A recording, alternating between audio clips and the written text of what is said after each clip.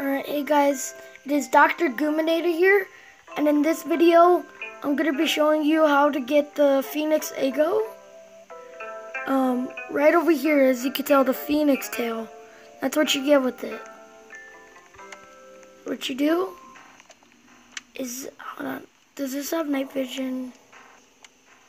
Yes, it does.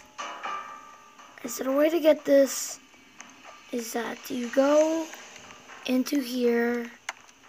You see this? It's you have to press on it and it will light the fire. You're supposed to go into it and then if you die, you've done it correctly and you got your Phoenix Eggo, which that means you get your Phoenix tail, which is a tattletale.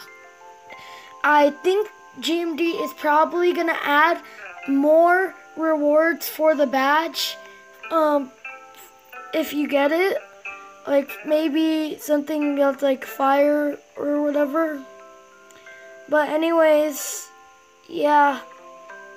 I would just want to say that my channel only has 14 subs and it just really sucks. If you guys can go ahead and share this um, video with your friends and also share the channel, it would be very appreciated and you may get a shout out.